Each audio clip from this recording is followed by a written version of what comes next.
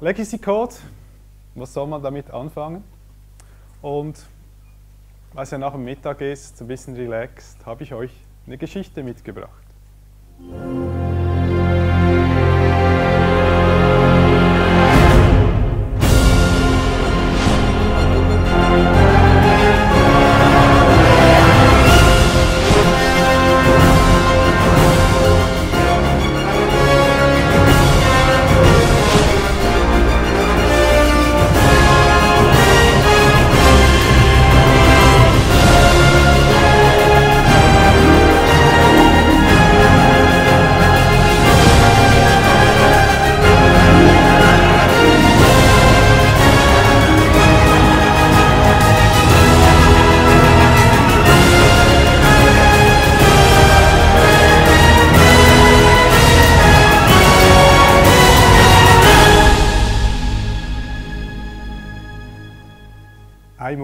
Software. Also was ist denn das Problem mit Legacy Code? Und das Team hier begleitet uns jetzt ein bisschen im ganzen Vortrag und schauen wir doch mal rein, wie sich so typischer Arbeitstag in diesem Team anfühlt. Dieses Video hat leider keinen Ton mehr. So, Scrum Board, ihr arbeitet mit Scrum, man pickt sich einen Task, vorbildlich, er schiebt auch den Task, bevor er was macht.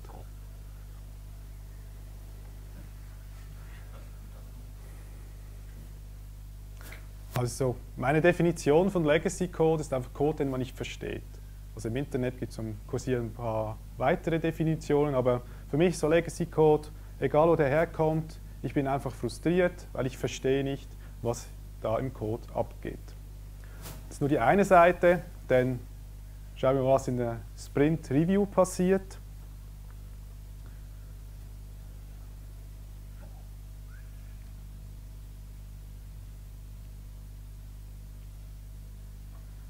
Man kennt es, man macht irgendwas kaputt.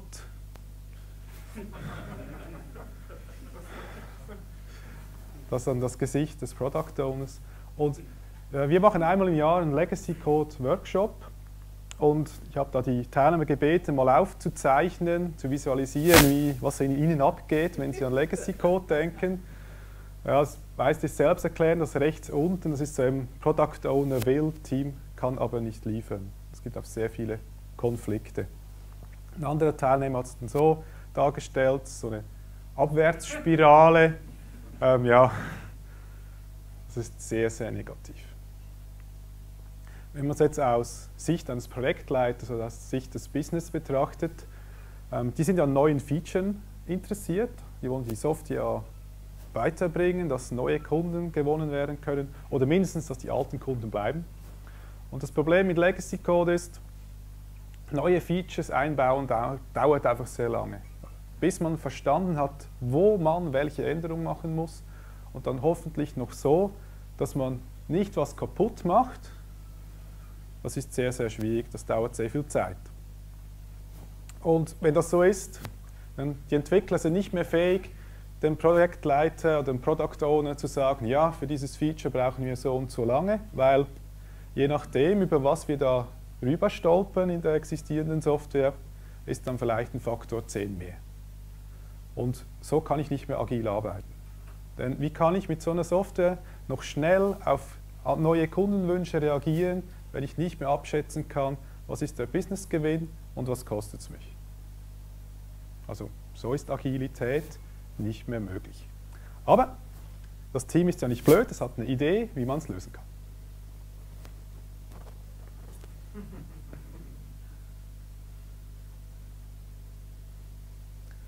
Gefällt dem Product Owner natürlich nicht so,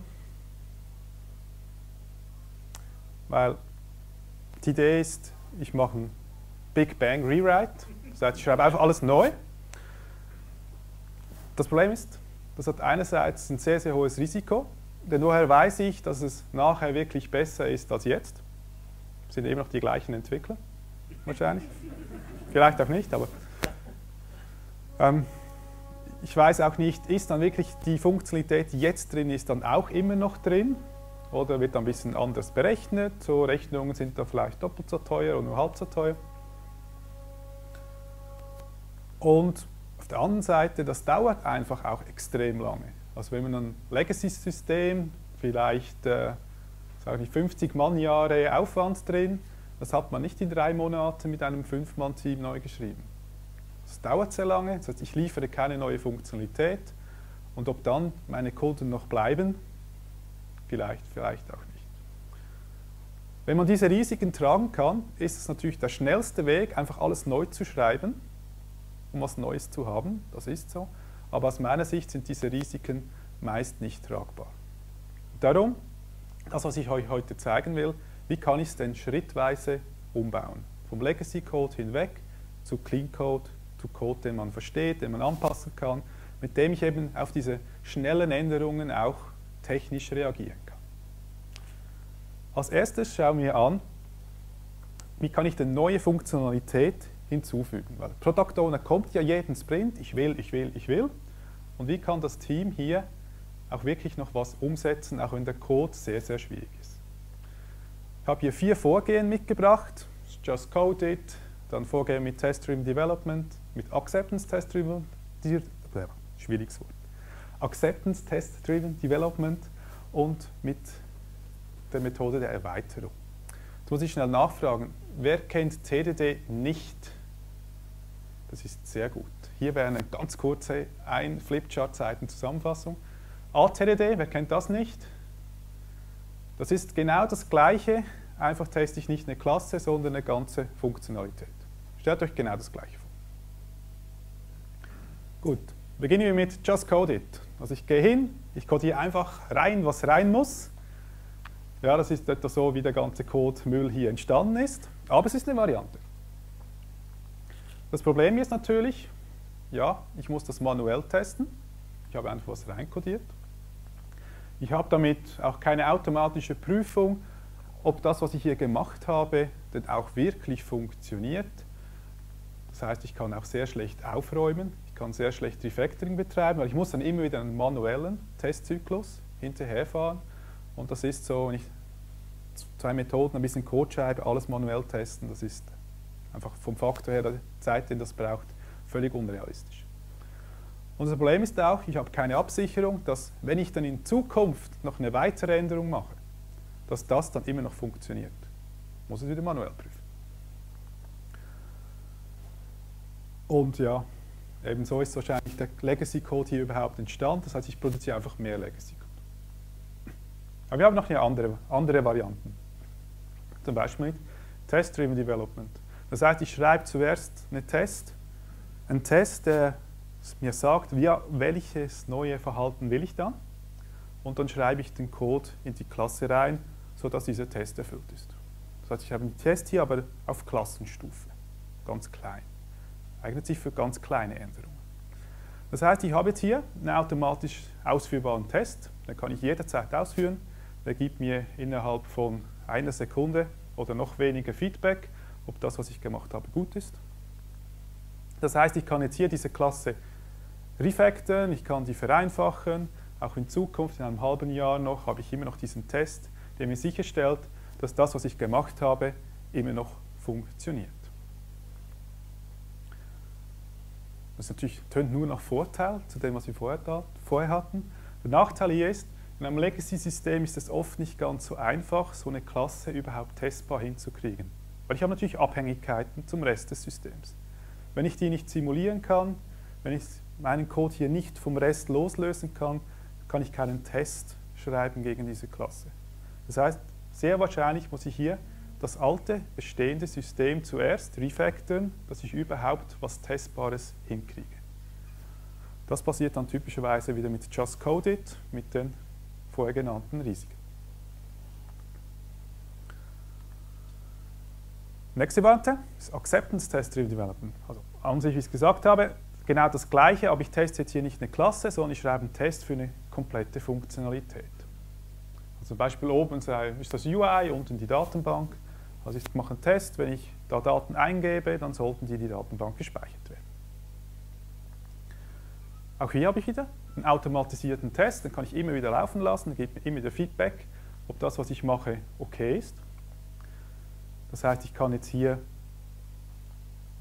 nicht die Cluster-Effekte, aber ich kann das ganze Feature-Effekten. Ich weiß, die Funktionalität ist grundsätzlich immer noch da drin, die ist nicht verloren gegangen. Und somit kann ich dann eben auch in Zukunft sicherstellen, dass diese Funktionalität nicht wieder verloren geht. Es gibt ja nichts Nervigeres, man liefert einen neuen Release aus, der Kunde sagt, ja, aber das geht nicht mehr, das ging vorher. Das kann dann nicht mehr passieren. Nachteil hier, weil ich ja einen sehr großen Scope habe, was ich teste, kann ich nicht mehr wie bei einem Unit-Test sämtliche Pfade durchlaufen. Das heißt, meine Test-Coverage ist dann, so bei uns ist so typischerweise so um die 60% Line-Coverage, was es wirklich, covered, wirklich abgedeckt ist. Alle Entscheidungen, die drin sind, vielleicht etwa 20%, weil sonst gibt es einfach viel zu viele solcher Tests.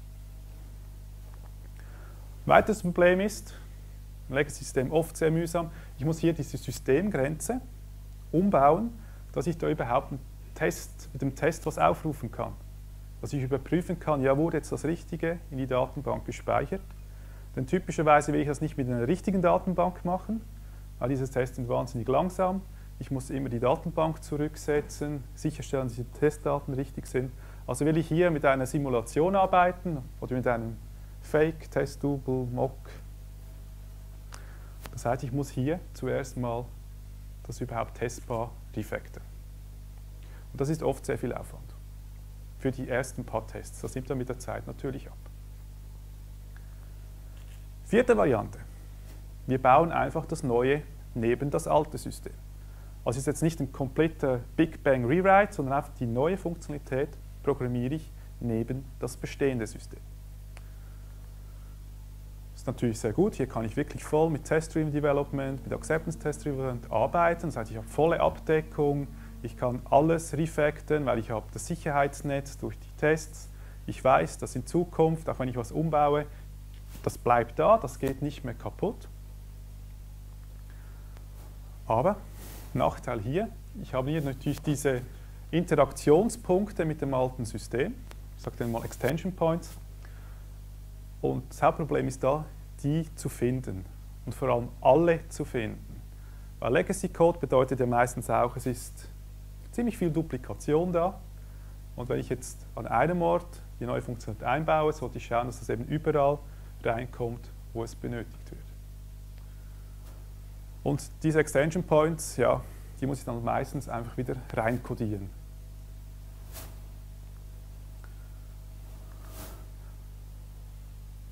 So, sind diese vier Varianten. Stellt sich die Frage, wann nehme ich natürlich welche?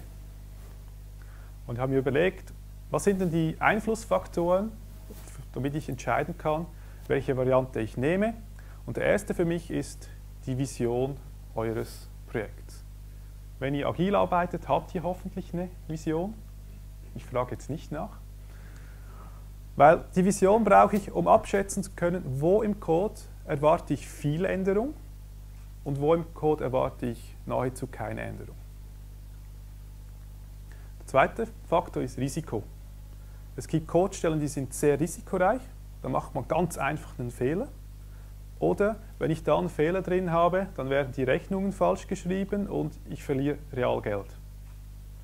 Und es gibt Code, ja, da ist der Button vielleicht falsch angehängt, dann beklagt sich vielleicht ein Benutzer, aber ist nicht so schlimm. Also auch das kann mir helfen zu unterscheiden. Und das dritte ist auch, ich muss schauen, wie viel Zeit habe ich denn überhaupt? Habe ich Zeit, etwas richtig gut zu machen oder muss ich halt trotzdem noch so ein bisschen Abkürzung nehmen? Wenn ich das in Eigenschaften des Codes übersetze, ist die Vision ist für mich, wo muss ich ganz wartbaren Code schreiben und wo ist es für mich okay, dass es nicht so wartbar ist, weil dort sowieso nicht viel passiert. Risiko übersetze ich mit, wie einfach ist es, die Korrektheit des Codes zu überprüfen. Also wo muss ich wirklich automatisierte Tests schreiben können, dass ich immer wieder laufen lassen kann und wo ist es okay, wenn ich das zwei Monate mal von Hand teste. Und das dritte ist einfach Geschwindigkeit. Also wie schnell kann ich das entwickeln? Also mit dieser Methode entwickeln. Und wenn wir uns das anschauen für diese vier Varianten, dann ist es so, just code it, schlechte Wartbarkeit, das hat uns ja wahrscheinlich hier hingebracht, ähm, Korrektheit von Hand prüfen, dauert lange, schlechte Feedback-Cycle. Es ist aber wahnsinnig schnell. das ist auch der Grund, warum man es so gerne macht. Und wieso die Projektleiter das so gerne haben. Einfach ein if reinklatschen und dann ist die Funktionalität. Mit TDD, also ich schreibe Tests für Units, äh, also für Klassen, da ist die Wartbarkeit ein bisschen größer, weil ich kann jetzt immerhin die Klasse aufräumen, ich kann da drin mich bewegen, ich habe ein Sicherheitsnetz. Somit habe ich auch ein bisschen eine höhere Korrektheit. Also im ganzen System habe ich so ein klein bisschen Korrektheit geprüft. Es ist ein bisschen langsamer. Jetzt versteht mich hier nicht falsch, es ist nicht langsamer, weil ihr nur einen Test schreiben müsst. Weil Test schreiben geht extrem schnell. Das Problem ist, überhaupt ein System zu haben, in dem Tests möglich sind, in dem ich die Klassen instanzieren kann. Das zu Beginn, wenn man wirklich ein krasses Legacy-System hat und mit Unit-Tests beginnt, ist das sehr aufwendig. Wenn das mal ein Weilchen gemacht wurde, dann ist das viel schneller. ATDD, hier ist die Wartbarkeit noch ein bisschen größer, weil ich habe jetzt wirklich ein ganzes Feature abgedeckt. Die Korrektheit ist aber etwa gleich gut wie bei TDD, weil ich eben nicht mehr alle Pfade überprüfen kann. Ich muss mich entscheiden für die wichtigen Szenarien. Und es ist noch einmal ein bisschen langsamer, weil dann wirklich das Gesamtsystem testbar sein muss. Zuletzt die Erweiterung ist aus Wartbar-Sicht zumindest für den neuen Teil natürlich sehr gut. Für die Extension Points im alten System ist das meistens von der Wartbarkeit immer noch sehr schwierig. Ich kann aber wirklich ganze Teile meines Systems komplett mit Tests abdecken und habe so ziemlich gute Korrektheit wieder die Extension Points im alten System bleiben Fragezeichen. Allerdings die Geschwindigkeit ist noch tiefer, wiederum nicht, weil ich lange habe, um das Neue zu schreiben, sondern sicherzustellen, dass die Extension Points am richtigen Ort sind und dass dort kein Fehler drin steckt. Das ist sehr, sehr aufwendig.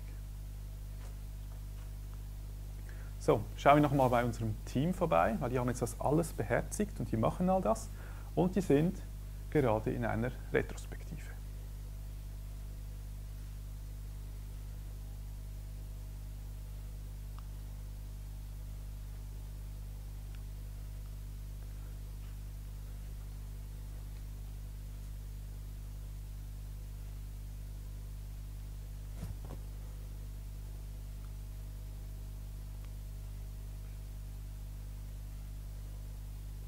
Gute Frage. Also wir machen das alles. Wir fügen neue Funktionalitäten nur noch mit Tests hinzu, aber sie werden trotzdem immer, immer langsamer. Das ist meine Erfahrung, weil ich habe zwar schönen neuen Code, aber der alte wird immer schlimmer, weil damit der schöne neue Code möglich ist, muss ich im alten Code noch ein paar Verbrechen mehr einbauen. Damit ich es testbar hinkriege zum Beispiel. Pseudo-Abstraktionen oder irgendwelche Layers, die ich da noch dazwischen hängen muss. Wird noch schlimmer. Darum nicht nur neue Funktionalität schön und gut einführen, wir müssen auch den bestehenden Code aufräumen. Wie mache ich das? Hier ist systematisch ein System, also oben so User Interface, unten wieder Datenbank. Und wenn wir da mal reinschauen, dann gehe ich hin und ich identifiziere Funktionalität, Features. Das sind diese blauen Linien. Nun leider in einem Legacy-System ist es oft so, dass diese nicht so schön isoliert voneinander sind, sondern die überlappen sich. Da werden Klassen von mehreren Features verwendet, idealerweise auf unterschiedliche Art und Weise. Äh, und in echt sieht es dann eher so ein bisschen nach Spaghetti aus. Und was mache ich denn jetzt da? Ich priorisiere, wie wir das immer machen im agilen Vorgehen. Das heißt, ich wähle mir hier ein Feature aus, das ist für mich zum Beispiel das risikoreichste, dass da wirklich sehr, sehr schnell was schief geht. Oder es ist das Feature, das wir jetzt in den nächsten paar Sprints wirklich massiv umbauen müssen oder erweitern müssen, picke ich mir ein Feature raus. Dann gehe ich hin und mache dieses Feature testbar. Das heißt, ich refactere die Systemschnittstelle, dass ich wirklich wie im Unit-Test einfach mit großem Scope schreiben kann, ohne dass ich ein ganzes System hochfahren muss, Datenbank initialisieren. Nein, ich will das alles in Memory ausprobieren können. So habe ich einen Test, der in einer Sekunde oder noch weniger durchläuft. Dann schreibe ich diesen Test. Das ist mein Akzeptanztest. Dann gehe ich hin und identifiziere Komponenten, welche im Zusammenspiel diese Funktionalität ermöglichen. Also hier im Beispiel habe ich hier drei Komponenten, die werden durchlaufen, um dieses rote Feature zu ermöglichen. Nächster Schritt. Ich refactore die Interfaces zwischen diesen Komponenten. Weil im Legacy-System sind das meistens zwar so virtuelle Komponenten, die man irgendwie identifizieren kann, aber es ist nicht wirklich ein stark kohäsives System, dass die Klassen ganz nah beieinander sind, mit einem ganz klaren Interface nach außen. Das heißt, ich muss jetzt hier zuerst mal Refactoring betreiben und ich habe jetzt zum Glück einen Acceptance-Test, der mir sagt, ob das Feature noch funktioniert. Das heißt, ich kann hier auch ziemlich starke, große Refactorings betreiben. Dann, wenn ich Interfaces habe, ist es wieder einfach, einen Test zu schreiben. Ich schreibe ich Komponententest.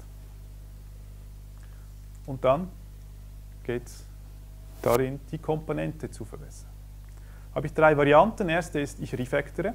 Das heißt, ich nehme das, was ich habe und Schritt für Schritt verbessere ich das zu einem Design, das einfacher ist oder einfacher wartbar oder einfach nur viel verständlicher. Und genau, habe ich gezeigt. Und das mache ich natürlich, indem dass ich dann, wenn ich was Refactor, eine neue Klasse identifiziere, dann mache ich das auch gleich mit TDD. Weil dann habe ich gleich die Tests und habe dann nicht wieder die Probleme, die ich mir ja hier schon aufgehasst habe. Und ein Riesenvorteil ist, wenn ich so arbeite, es geht normalerweise keine Funktionalität verloren. Weil ich ja wirklich in ganz, ganz kleinen Schritten, also nur mal eine Methode umbenennen, aus zwei Methoden drei machen, ähm, Interface ändern, ganz kleine Schritte, da geht sehr wahrscheinlich nichts verloren. Das ist bei der zweiten Methode, beim Reengineering, ich schreibe die Komponente neu, ganz anders. Hier kann wirklich Funktionalität verloren gehen, weil man sich nicht erinnern konnte, das jemals eingebaut zu haben. Vor zehn Jahren oder so. Also wenn so schrittweises Vorgehen ist nicht möglich, dann schreibe ich es halt neu. Ich habe jetzt immerhin schon einen Acceptance-Test für das, was ich jetzt bauen muss und dann überlege ich mir ein Klassendesign und arbeite diese Klassen mit Test-Driven Development aus. Ich kann meine Schrift hier vorne nicht lesen. Ja. Eben das Risiko ist, Funktionalität geht verloren, kann aber eben sinnvoll sein, wenn ein Refactoring einfach unendlich lange dauern würde, weil es so falsch ist, was da drin steht, dass ich sage, okay, ich nehme das Risiko in Kauf, weil ich viel schneller bin mit einem Reengineering. Dritte Variante, ich behalte die Komponente einfach, weil ja, da werden wir wahrscheinlich nichts ändern oder es ist nicht ganz so schlimm, es gibt viel schlimmere Baustellen. Dann nehmen wir sie einfach noch in einen Cleanup-Backlog auf, dass wir nicht vergessen, da wäre dann noch eine Baustelle, die nicht so ist, wie wir sie gern hätten. Das ist grundsätzlich das Vorgehen und für die, die vorne sitzen, das ist auch auf dem einem Cheat Sheet drauf. Das ist der 11 Schritte Plan in 8 Schritten oder so. genau. Ich habe euch aber noch ein paar Tipps und Tricks mitgebracht. Oft ist es so, dass man ein Legacy-System hat, dass es einem schon extrem hilft, wenn man nur schon mal die Klassen ein bisschen anders anordnet. Also ich ändere keinen Code, ich ändere nur die Namespaces der Klassen. Das heißt, ich habe so ein Durcheinander und oft, wenn ich da ein bisschen aufräume, gewisse Behälter schaffe oder Namespaces, dann wird das schon sehr, sehr viel übersichtlicher. Dafür gibt es auch sehr gute Tools. Ich habe hier als Beispiel Structure 101 Studio. Das Vorteil diesem Tool ist, ich kann hier Code analysieren. Dann zeigt er mir hier die Abhängigkeiten. Es ist immer so, was oben ist, hat Abhängigkeit auf das, was unten ist. Und dann haben wir hier noch so ein paar Pfeile von unten nach oben, das heißt, ich habe hier Zyklen. Und Zyklen sind Gift für Wartbarkeit. Weil wenn ich einen Zyklus habe, wo beginne ich denn was zu ändern? Weil ich dann einmal rundherum gehe, das kann ich, alles was in diesem Zyklus drin ist, äh, muss ich dann für sich anpassen, das wird unglaublich kompliziert. Hingegen, wenn ich einen gerichteten Graphen habe, dann weiß ich, ich kann oben oder unten beginnen und dann habe ich ganz klar im Überblick, was sich ändert. Also wenn ich oben was ändere, der Rest des Programms, den muss ich nicht anfassen. Wenn ich unten was ändere, hat es Impact möglicherweise auf alles. Und beim Zyklung hat es immer alles auf alles Einfluss. Mit diesem Tool kann ich dann eben in einer Sandbox mal herumspielen, wie es dann vielleicht besser wäre. Also das ist so ein Beispiel, das wir im Workshop verwenden. Und jetzt hier kann ich mal so ein paar Klassen rausnehmen. Jetzt habe ich immerhin keine Zyklen mehr. Und jetzt kann ich natürlich dann sagen, ja, aber ich kann hier neue Namespaces erschaffen und kann so gruppieren, dass ich immerhin im Groben mal verstehe, was überhaupt in dieser Software alles drin ist. Und das Coole ist eben, ich kann es in einer Sandbox machen, ich muss nicht Code verändern. Das heißt, ich bin viel schneller, ich kann einfach mal was ausprobieren, wieder fortwerfen. Sehr praktisch, diese Tools. Also hier oben sieht man auch noch, Diagramm ist, nach oben ist, wie viele Zyklen habe ich und nach rechts ist, wenn es so ganz fette, große Namespaces und Klassen sind. Das Beispiel ist jetzt nicht ganz links, weil es nur ein Beispiel ist. Also solche Tools helfen enorm beim Aufräumen. Zweiter Tipp, ich nenne das die demilitarisierte Zone. Also wenn ihr hier eine Komponente habt, diese schwarze Box, dann wird die ja von irgendwoher aufgerufen und ruft irgendwas anderes auf und ich durchlaufe diese Komponente auf irgendeinem Ausführungspfad. Dann gehe ich hin und überlege mir, ja, welches Interface hätte ich denn gerne, wie ich aufgerufen, äh, also wie möchte ich aufgerufen werden? Und welches Interface wäre praktisch für mich, um den Rest der Welt aufzurufen? Das ist dann diese grüne Box. Dann gehe ich hin, ich programmiere Adapter, also vom Interface, wie es wirklich ist, zum Interface, wie ich gerne aufgerufen werden möchte und ebenso vom Interface, wie ich den Rest der Welt aufrufen will, zu wie es in der Realität ist. Mache ich einen Adapter. Das heißt, ich baue mir so meine schöne grüne Welt.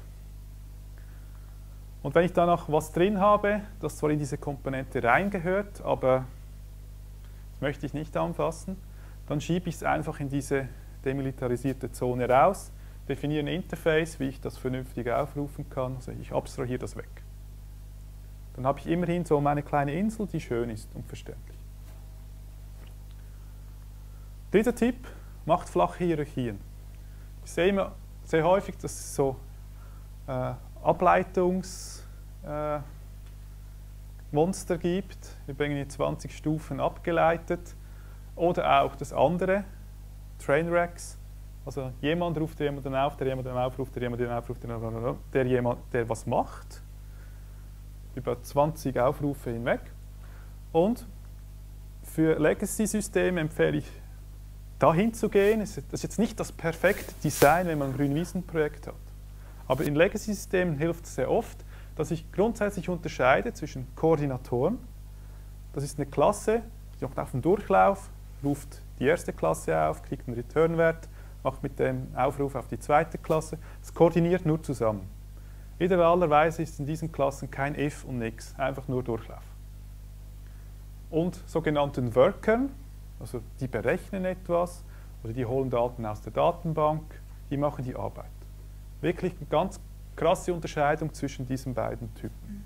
Dann weiß man immerhin, äh, welche Aufgabe diese Klasse übernehmen muss. Weitere Tipps sind ganz einfache, aber der kann enorm viel zur Verständlichkeit beitragen. Beispiel, sehe ich immer wieder, Methode, hol mir mal einen Pfad, gib einen String zurück. Ja, ist das ein absoluter Pfad, ein relativer Pfad, ein Pfad, in dem Prozent 10% drinstehen darf? Äh, darf der auch ungültig sein oder nicht? Keine Ahnung. Das gleiche ist, ja, lad mal Daten, ich gebe dir eine ID, ein String. Darf das null sein? Und hier, einfacher Trick, führt einfach konkrete Typen ein für das. Also in meinem Projekt gibt es eine Klasse Absolute File Path. Ist intern natürlich nichts anderes als ein String, aber es steht jetzt immer hier, immerhin hier im Code. Dass wenn ich über diese Codezeile stolper, weiß ich, aha, hier sollte ein absoluter Pfad zurückgegeben werden. Und die Klasse ist dann auch noch so intelligent, dass sie versucht herauszufinden, ob es wirklich ein absoluter Pfad ist. Also schaut zum Beispiel, ist vorne Laufwerksbezeichner drin oder nicht. Das gleiche hier bei Data mache ich eine Klasse Data ID, einfach so als, als Wrapper für einen String. Hat einen Vorteil, dass ich dann auch einen Absolute File Path nicht einer Data ID zuweisen kann. In einer typisierten Sprache, zumindest. Also ganz kleiner Trick, ist ganz einfach zu machen, hilft aber enorm.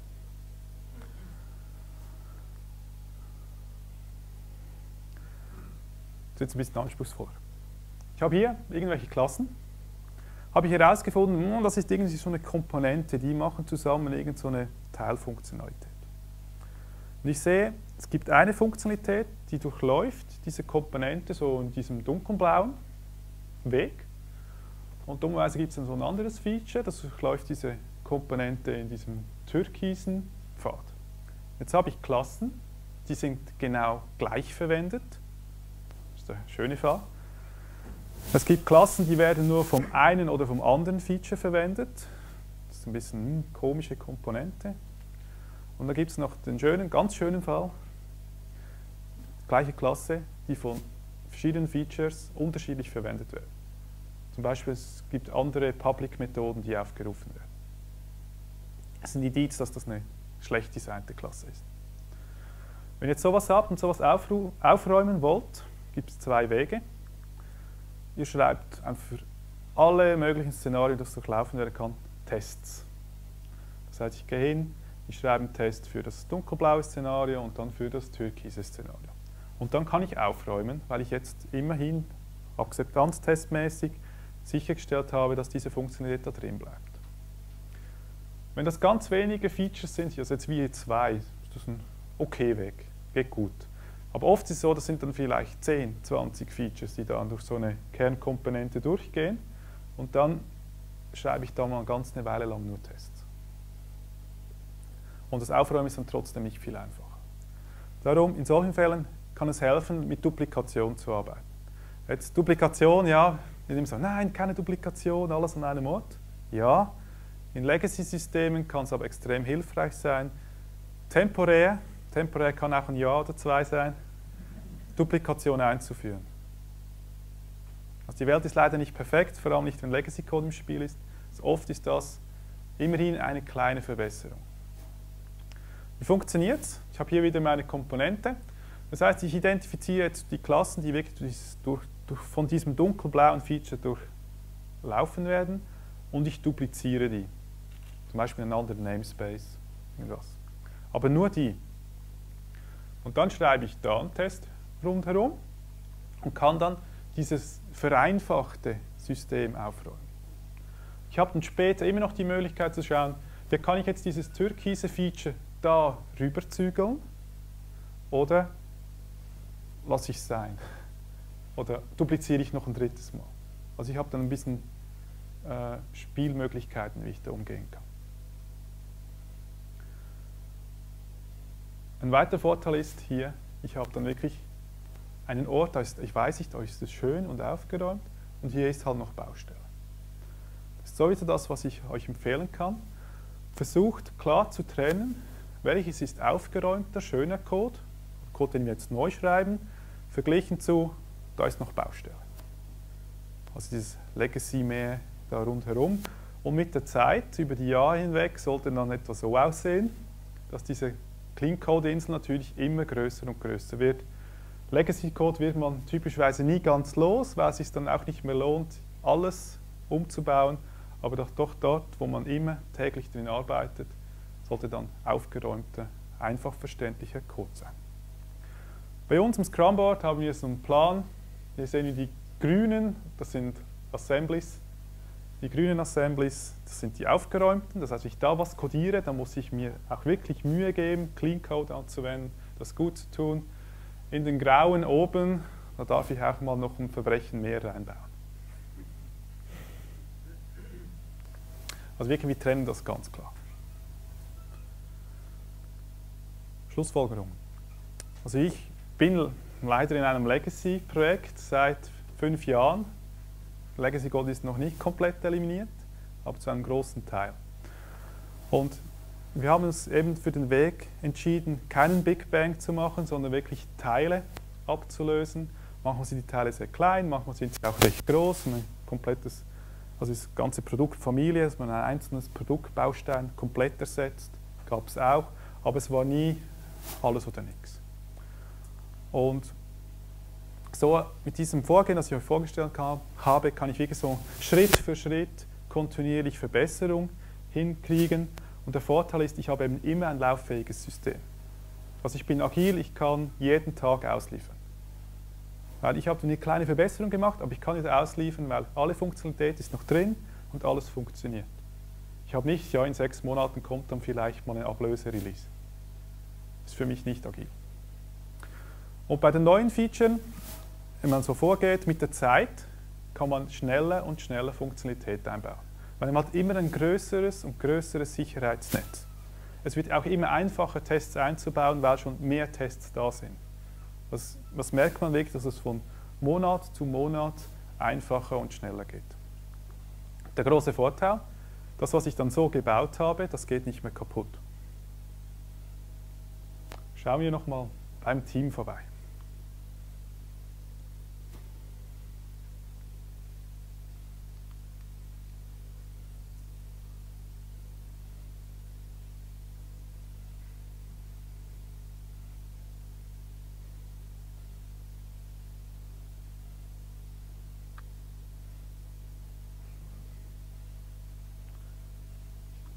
Also es ist wirklich so, mit der Zeit stellt sich ein gutes Gefühl ein, weil man wirklich das Gefühl hat, man kommt wieder vorwärts und muss sich nicht immer nur um Vergangenheit kümmern.